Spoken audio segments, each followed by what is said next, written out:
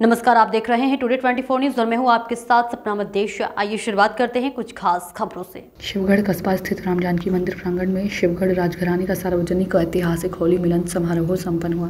हर साल की तरह होली का आठव शीतल अष्टमी को पूर्व एमएलसी एवं भारतीय जनता पार्टी के राष्ट्रीय कार्यकारिणी सदस्य राजा राकेश प्रताप सिंह द्वारा बुधवार को एक बजे से आयोजित होली मिलन समारोह देर शाम तक चला, जिसमें शिवगढ़ क्षेत्र की 3600 ग्राम पंचायतों के साथ ही नवसृजित शिवगढ़ पंचायत के हर एक वार्ड में भारी संख्या में लोगों ने शामिल होकर एक दूसरे की गले लगकर होली की शुभकामनाएँ दी।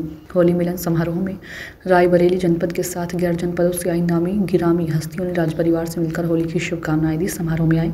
सभी लोगों को अमीर का तिलक लगाकर स्वागत किया गया। इस अवसर पर मुख्य रूप से पूर्व विधायक राजा राम त्यागी, भाजपा जिला महामंत्री शरद सिंह, नंदकिशोर तिवारी ब्लॉक प्रमुख कुंवर हनुमंत प्रताप सिंह आदि मौजूद रहे। देखिए अंगद राही की रिपोर्ट।